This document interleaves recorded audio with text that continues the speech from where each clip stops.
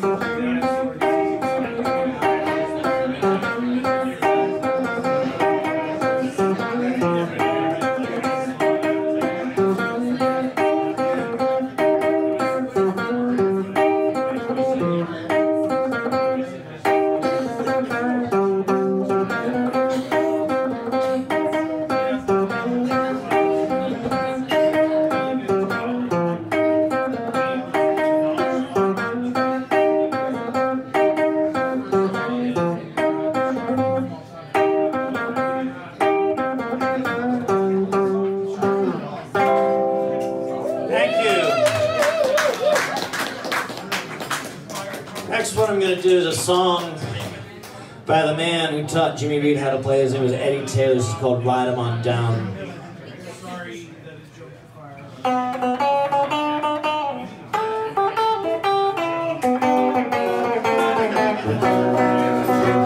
I'm a dealing man, still dealing yet. Don't keep dealing till I find me bed. Now when I